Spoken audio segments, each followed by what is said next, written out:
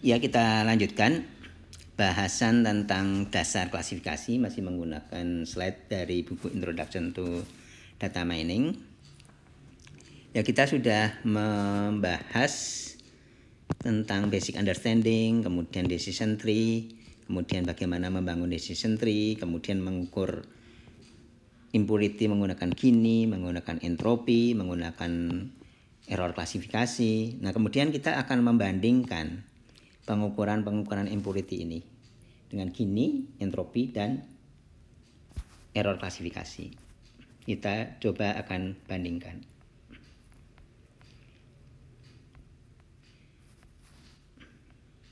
Ya, kita coba membahas tentang perbandingan pengukuran impurity. Nah, ini kita lihat untuk kasus biner dua kelas ya kita bisa lihat. Jadi di sini adalah um, probabilitasnya. Jadi ada kelasnya, misalkan kelas 1 dan kelas 2. Ini kalau misalkan di sini katakanlah semua kelas 1 semua. Di sini adalah semua kelas 2 semua. Ya, seperti itu. Kemudian kalau 0,5 itu antara kelas 1 dan kelas 2 jumlahnya ya, jumlah kelas 1 dan jumlah kelas 2 ya. Itu jumlahnya sama ya 0,5 ini. Kita lihat yang murni ya yaitu yang impurity-nya 0 di semua kelas 1 atau semua kelas 2 di sini ini eh, sama semuanya itu 0 di sini. Juga di ujung kiri dan ujung kanan. Kemudian juga sama kalau di tengah artinya jumlah C1 dan C2 nya sama recordnya maka maksimal baik itu entropi di sini maupun gini ataupun error klasifikasi. Hanya bedanya maksimalnya nilai maksimalnya kalau entropi maksimalnya di sini adalah satu, kemudian gini dan error klasifik misklasifikasi itu eh, 0,5 dan bagaimana eh, kurvanya juga kurvanya berbeda bisa kita lihat seperti ini kurvanya. Di mana kurva error misklasifikasi itu lurus sedangkan yang lain tidak ya. Kita lihat perbedaan e, perbandingannya misalkan antara error. Error misklasifikasi dengan Gini index ya. Ini adalah yang belum di split ya. Kita mempunyai 10 record. Kita mempunyai 10 record ya di mana distribusinya C1 ada 7 record dan C2 ada 3 record kemudian gininya itu 0,42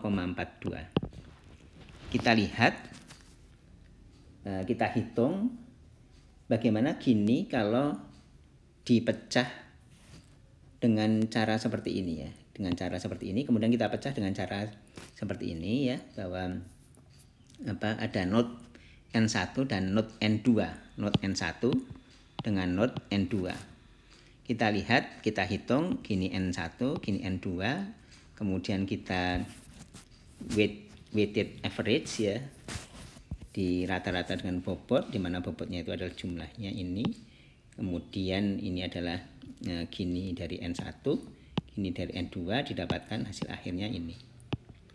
Ya, kita lihat bahwa di hasil setelah pemecahan gininya itu improve. Improve itu artinya lebih kecil. Jadi impurity-nya jadi lebih kecil lebih bagus. Lebih bagus di split daripada tidak di split. Nah, artinya seperti itu. Tapi kita lihat bahwa errornya itu sama ya. Errornya sama. Kita lihat akan kita lihat secara lebih detail di sini. Di mana sebelum di split sebelum dipecah itu adalah seperti ini ya. Ini sebelum dipecah. Ini misklasifikasi errornya kita lihat um, ada P untuk C1 7 per 10 dan P, C2 3 per 10 kemudian maksimalnya adalah yang 7 per 10 sehingga didapatkan errornya itu 0,3 ya. Sebenarnya kita bisa langsung tanpa menghitung juga kita bisa lihat di sini bahwa errornya itu adalah yang ini ya yang 3 per 10 Jadi errornya 0,3 sebelum di split.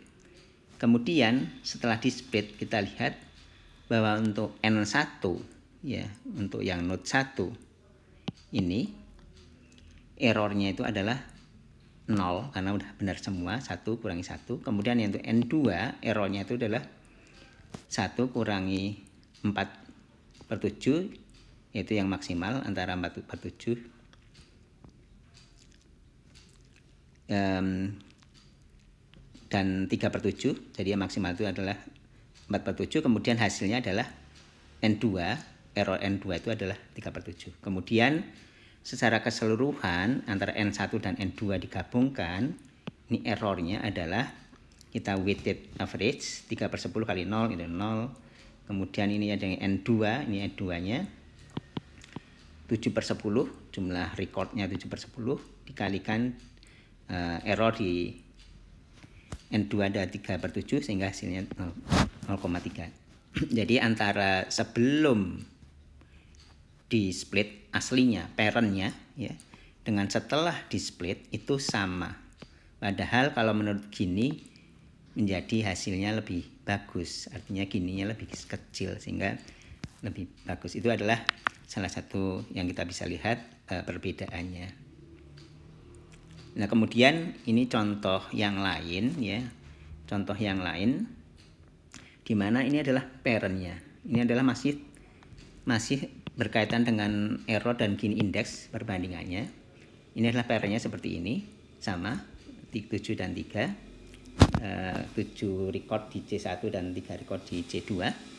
Kemudian ini di split seperti tadi. Ya.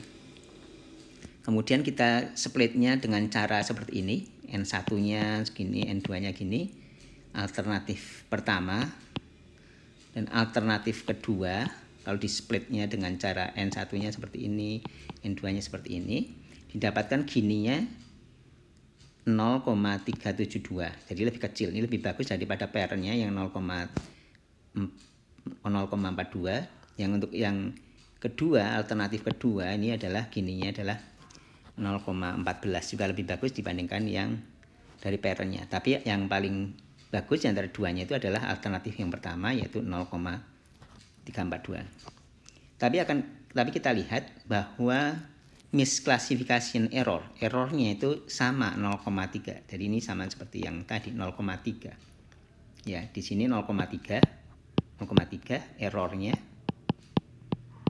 Kemudian di sini juga uh, errornya sama dengan 0,3 juga.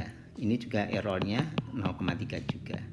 Ya, jadi itu adalah um, salah satu yang bisa kita lihat perbedaan antara error misklasifikasi dengan Gini index. Ya, untuk selanjutnya kita sudah tuntaskan pengukuran impurity menggunakan Gini entropi dan error klasifikasi dan perbandingannya. Kemudian untuk berikutnya adalah bahasan yang terakhir kita akan membahas tentang decision tree ada plus minusnya ada advantage dan disadvantage-nya.